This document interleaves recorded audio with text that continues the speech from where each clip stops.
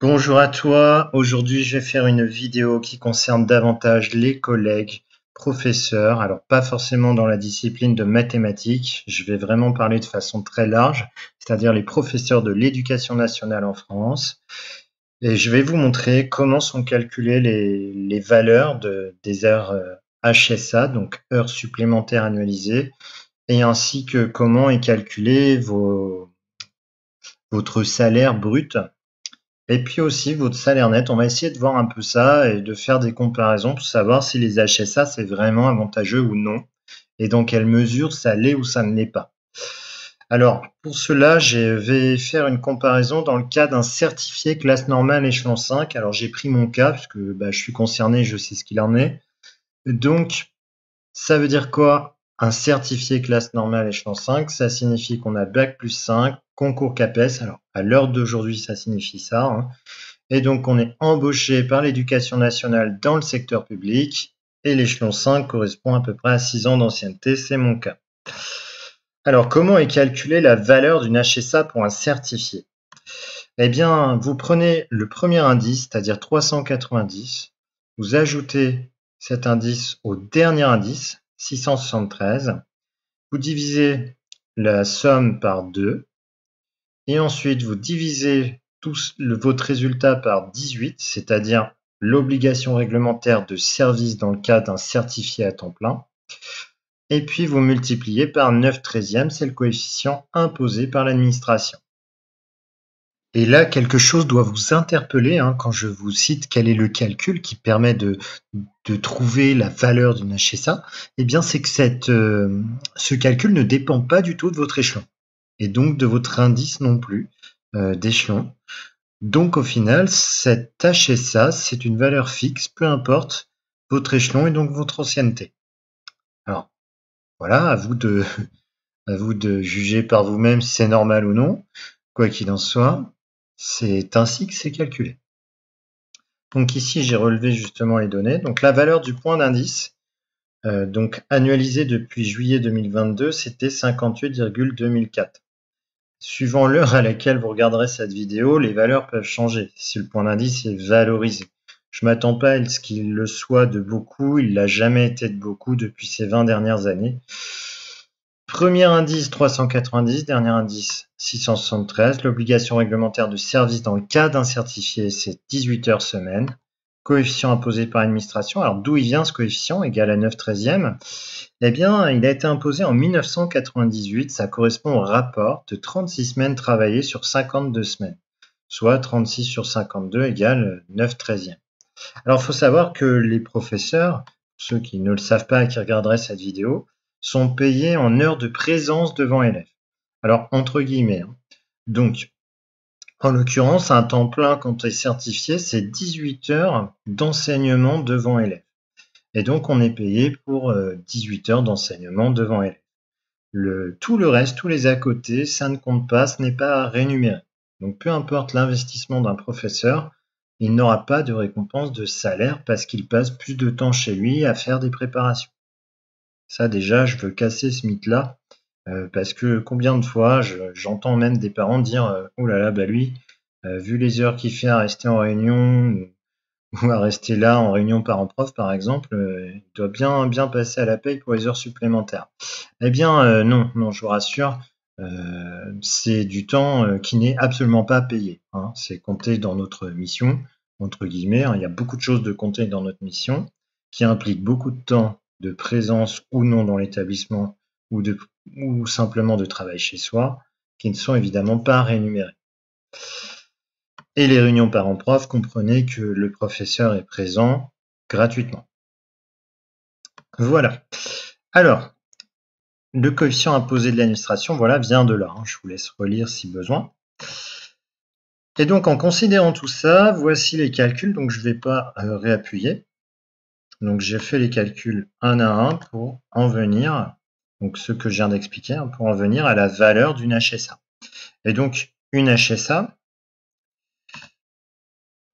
ça correspond donc à 1189,75 euros par an. Je peux vous montrer euh, les calculs que j'ai tapés. Hein. Les formules, vous les retrouverez là-haut. Donc ça, c'est la valeur d'une HSA, 1189,75 par an. La première est majorée de 20%. Hein, c'est un peu le, cadeau qu'on nous a fait pour la première HSA. Alors à la base, on nous avait dit qu'il majorait que la première HSA hein, pour euh, empêcher les professeurs d'être tentés de faire trop d'heures supplémentaires. Et c'est pour ça qu'avec la première de majorer. L'ironie et, un peu le paradoxe aussi, c'est que à l'heure d'aujourd'hui, hein, un établissement, un proviseur, a le droit de nous imposer deux HSA quand on est à temps plein. Donc si on fait 18 heures et qu'il y a un besoin de deux heures supplémentaires, on a le droit de nous imposer de faire deux heures supplémentaires, même si euh, malgré tout, il n'y aura que la première de majorée de 20%. Alors, puisque la première est majorée de 20%, j'ai fait 1,2 fois la valeur d'une HSA et donc j'ai obtenu la valeur de la première heure euh, majorée. 1427,7 euros par an. Donc voici hein, comment sont, sont rémunérées euh, vos heures supplémentaires lorsque vous êtes payé en HSA. Parce qu'il existe aussi les HSE et les IMP, c'est un peu plus compliqué. Je ne vais pas venir là-dessus euh, dans cette vidéo, ce serait un peu trop long de parler de tout. Mais les HSE et les IMP sont encore moins bien payés que des HSA, il faut le savoir. Alors, échelon. Je vais zoomer un peu. Histoire qu'on voit mieux. Voilà. J'aurais peut-être dû faire ça bien avant. Donc, je vais prendre le cas de l'échelon 5, puisque c'est mon cas, l'indice est à 476 lorsqu'on est échelon 5. Et donc, je vais montrer comment on calcule votre salaire brut annuel. Eh bien, vous prenez euh, la valeur du point d'indice actuel. Alors, en 2022, c'était 58,2004. C'est encore le cas normalement aujourd'hui. Je ne crois pas qu'il y a eu de changement, c'est très minime. Euh, non, mais il me semble pas. Il parle de le revaloriser en septembre de 1,5% ou 3%, quelque chose comme ça. Bon, en tout cas, euh, loin d'être fonction de l'inflation. Donc 476, c'est mon indice correspondant à mon échelon. Vous multipliez cet indice par la valeur du point d'indice et vous obtenez votre salaire brut mensuel, euh, votre salaire brut annuel.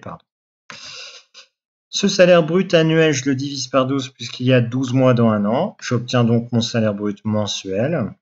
Et puisque ce salaire brut mensuel correspond à 18 heures semaine, je divise par 18 pour avoir l'équivalence de la valeur d'une heure poste par mois. Et donc, on est payé en fait 128,25 euros les 4 heures euh, post qu'on fait dans un mois.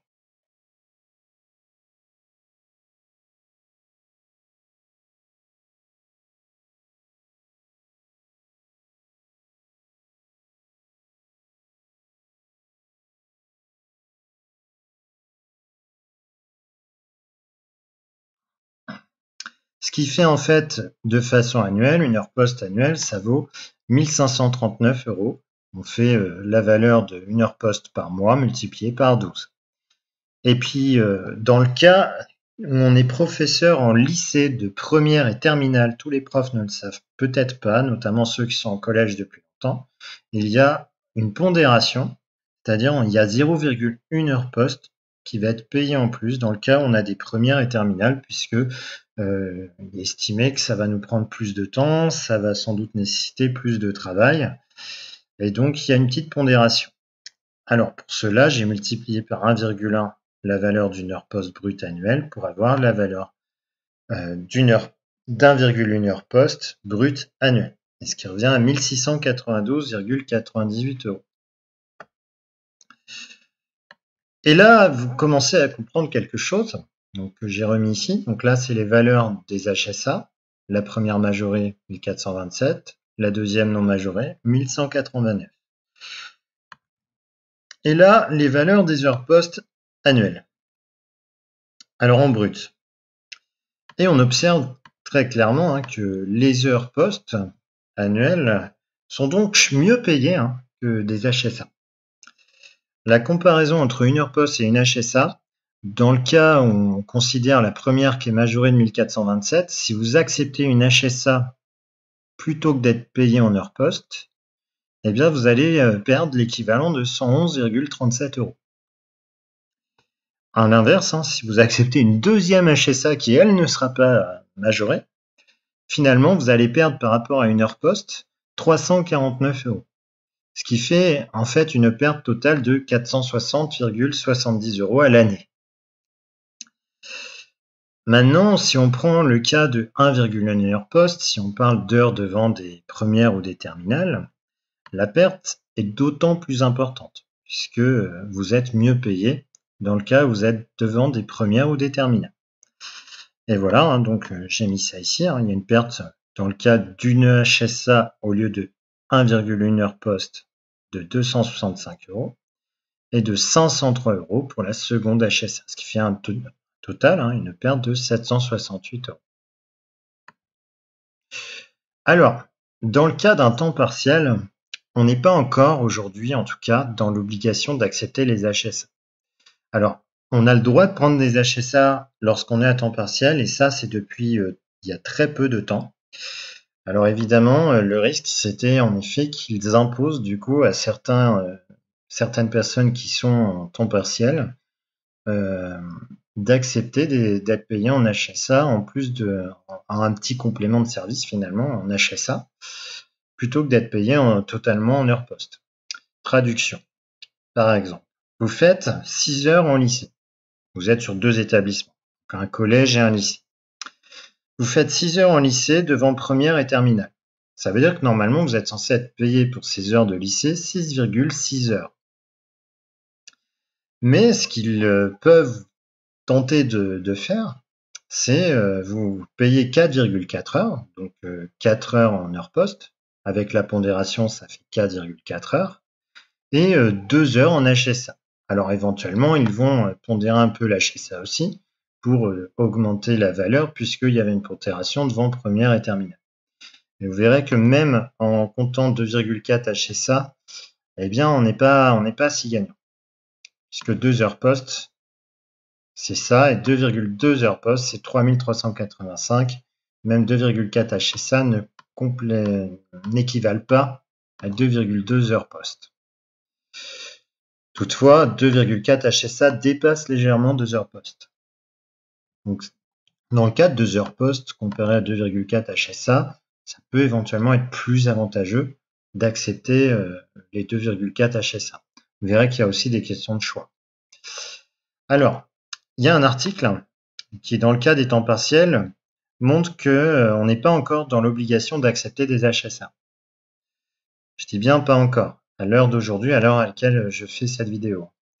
Donc en 2023, actuellement, c'est pas encore le cas pas encore euh, une obligation. Dans le cas où vous êtes à temps complet, il y a deux HSA qui peuvent vous être imposés et vous n'aurez pas le droit de les refuser.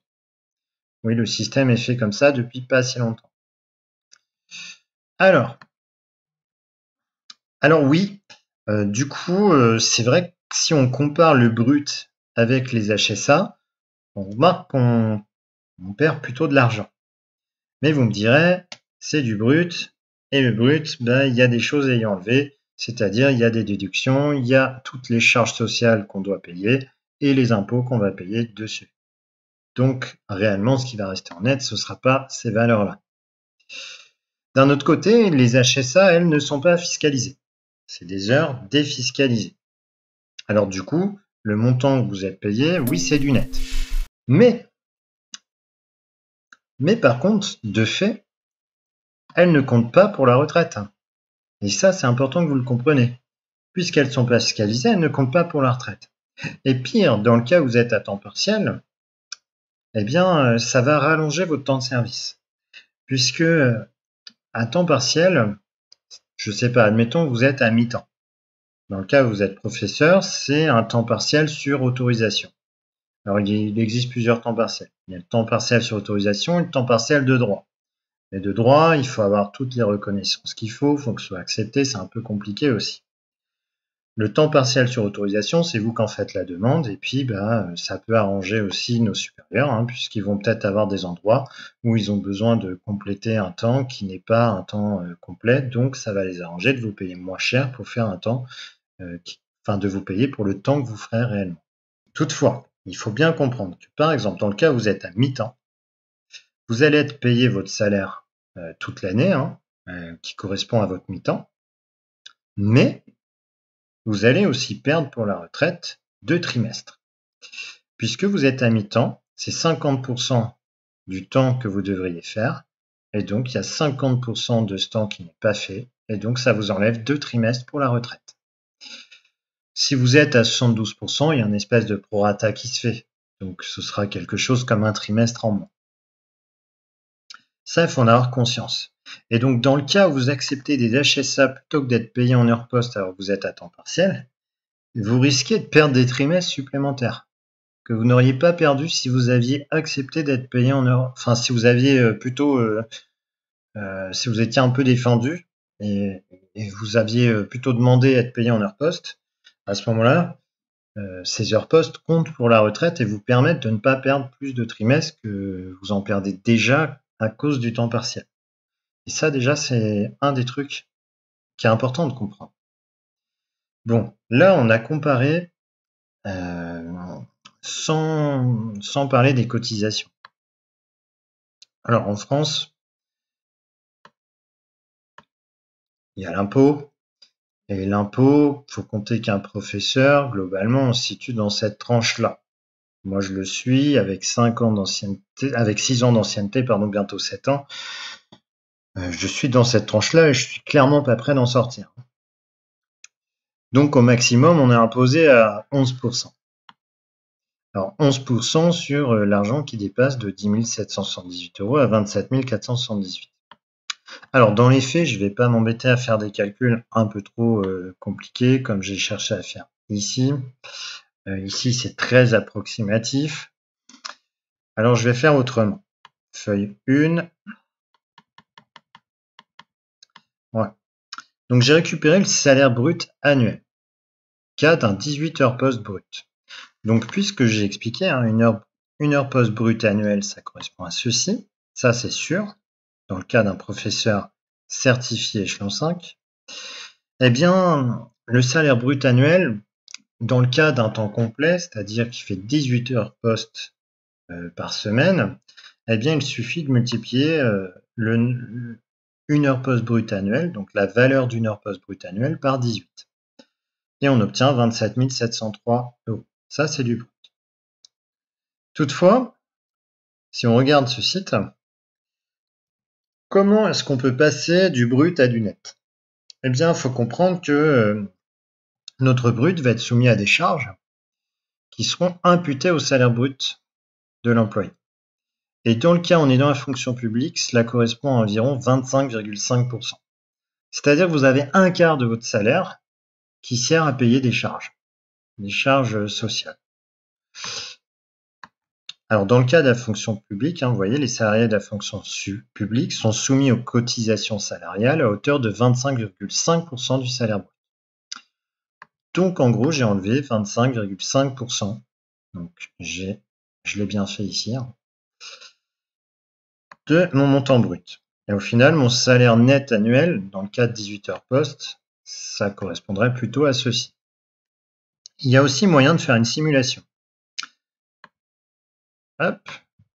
Donc voilà, sur URSAF, suivant le salaire que vous gagnez, vous tapez votre salaire brut et il y a une estimation qui peut se faire. Ensuite, vous pouvez même euh, donner des, données plus précises. Donc là, le salaire brut, c'était 27 703. Je vais arrondir à l'unité. En général, tout est toujours arrondi à l'unité. Donc 27 703. Et voilà, et là il y a une estimation qui se fait. Donc lui, il estime salaire net après impôt à peu près 20 721. Et vous voyez, on est quasiment au même montant. Ça joue à 100 euros près. Donc on va considérer plus bas, vaut mieux prendre plus bas que trop haut. Ça évite les mauvaises surprises.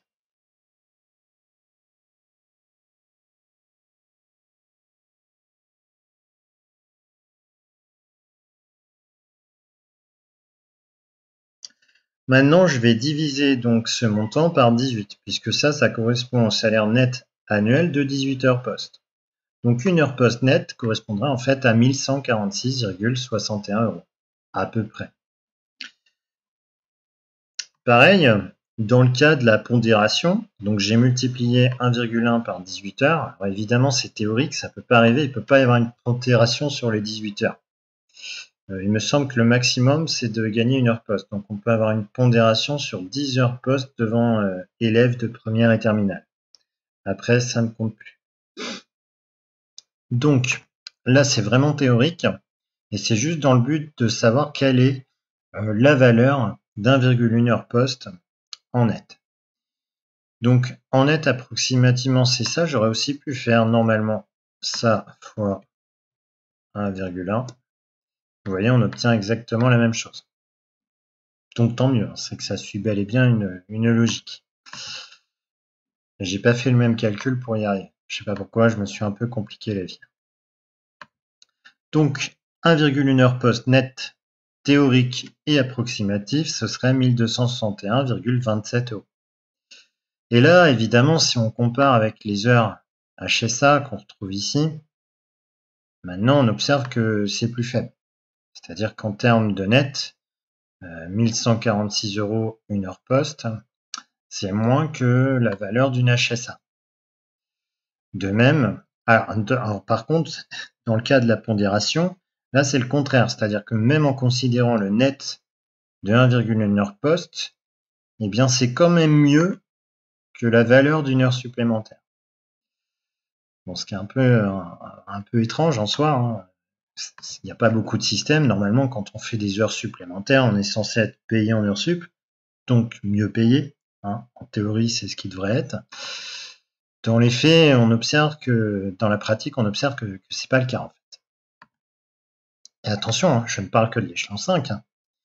Les collègues qui sont échelon 6, 7, 8 et qui sont encore au-dessus, ça va jusqu'à 11, et ensuite on change de classe, eh bien, euh, tous ces collègues-là, il y aura un écart encore plus important, puisque leur heure poste nette sera supérieure à celle de l'échelon 5. Toutefois, la première heure majorée à 1427 euros, on observe qu'elle est quand même mieux, euh, mieux payée qu'une heure poste nette ou que 1,1 heure poste net. Toutefois, il y a aussi une question de choix. Oui, c'est mieux payé, c'est vrai. Enfin, c'est mieux payé, oui et non. Non, c'est moins bien payé qu'une heure poste euh, brute. Mais puisqu'on paye des charges sur ces heures poste brutes, eh bien en net, en effet, si on compare le net, on va être plus ou moins mieux payé par une heure poste, du moins la première majorée. La deuxième, franchement, ça s'équivaut. À 40 euros près, euh, vaut peut-être mieux cotiser pour la retraite euh, plutôt que d'accepter l'HSA. Alors évidemment, malheureusement, aujourd'hui, il y a deux HSA obligatoires, je le répète. Dans le cas, on est à, temps complet. Donc ben voilà, j'ai terminé. Hein. Là, il n'y a plus qu'une question de choix, c'est à vous de décider. Hein. Euh, sachant ces vérités-là, de bah, de si euh, c'est dans votre intérêt, dans le cas où vous êtes à temps partiel, d'accepter ou non euh, une HSA ou deux HSA. L'important, c'est de comprendre la vérité. Et la vérité, elle est là. Je ne dis pas qu'elle est normale, mais je vous la présente telle qu'elle. Donc oui, les heures post brutes sont mieux payées que les HSA. D'un autre côté, si on regarde le net, le net, une heure post net, équivaut quasiment à la valeur d'une HSA. Est légèrement supérieure d'environ 40 euros, ou 3 euros, d'un autre côté, si vous avez le droit à la pondération parce que vous êtes devant des élèves de première ou terminale, même l'HSA, enfin euh, une HSA normale, est moins bien payée et c'est quasiment c'est quasiment de 80 euros. Allez, 70 à 80 euros. Dans, le cas d'un temps partiel, hein, il y a une question de choix. Est-ce que vous souhaitez cotiser plus pour votre retraite ou est-ce que vous souhaitez avoir un net un peu plus important dans l'immédiat, mais c'est aussi des heures qui vous rapporteront rien au long terme, donc qui vous auront pas permis de cotiser pour votre retraite et qui vous auront peut-être fait perdre des trimestres parce que vous aurez accepté des HSA. Il faut en avoir conscience. Voilà, donc ça c'est ce qu'il en est actuellement. Euh, j'ai vraiment fait le tour. J'espère que cette vidéo vous aura plu, qu'elle aura été claire et qu'elle vous aura aidé. Hein à mieux comprendre comment vous êtes payé, euh, d'où vient votre salaire brut et, comment est calculée la valeur d'une HSA. Donc, vous pouvez adapter. C'est pas les mêmes montants suivant votre, votre classe et suivant aussi si vous êtes agrégé. Ce sera pas les mêmes. La valeur de l'indice serait pas la même. le, les obligations réglementaires sont pas les mêmes. Le calcul sera donc pas le même. Là, je l'ai vraiment fait dans le cas général de, de quelqu'un en classe normale qui a suivi le cursus normal et qui a passé un CAPES et non euh, l'agrég. Voilà, voilà. Donc, si vous souhaitez avoir plus ample information ou commenter, n'hésitez pas. N'hésitez pas, au contraire, il faut, il faut en parler. Je n'ai pas la science infuse, j'apprends aussi.